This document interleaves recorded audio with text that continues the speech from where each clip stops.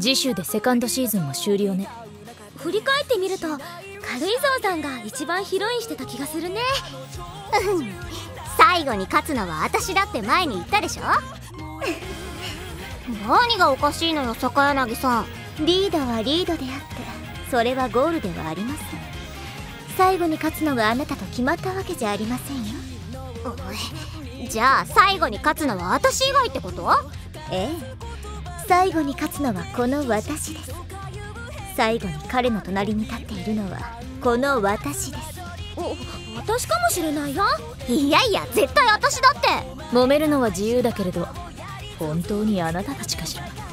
え？最終回。あなたが出会う最悪の敵は常にあなた自身だ。この物語の最後。彼に一番近い位置にいるのは